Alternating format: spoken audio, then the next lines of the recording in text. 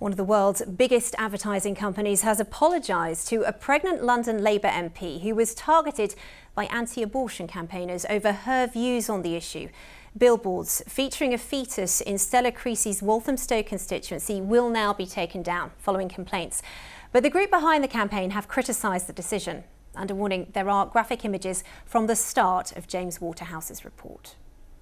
Once again, the way we have political arguments has been brought into focus in Walthamstow, an anti abortion billboard targeting the pregnant local MP. Today, covered in white paint by vandals. Stella Creasy first tweeted an image of the billboard demanding action from the advertisers Clear Channel Direct, as well as from the Home Secretary Priti Patel. Do you have a problem with that advert or not? No, I have no problem with it. If anything, encourage in my thinking encourage people to think, especially female, to think twice about um, aborting babies. I think it should have been left there because I think most people don't realise actually what a real is actually you could actually identify as being human.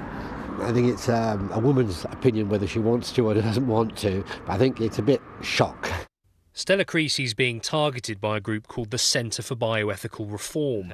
It's over her recent role in getting abortion decriminalised in Northern Ireland. Where critics say the line is crossed, though, is because of the fact the MP is heavily pregnant and has talked about having miscarriages in the past.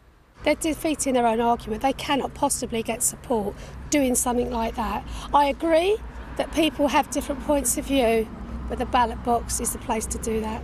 There were plans for six of these billboards to go up. That now won't be happening.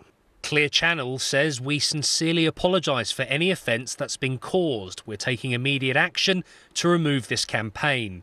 Those behind the image have called the move outrageous for free speech. She needs to be accountable for the laws that she's trying to put in, and these laws are targeting the unborn child. Then so, so why does she get a pass simply because she's pregnant? It's not about a pass; it's about debating, engaging. There's yeah. a difference between debating yeah.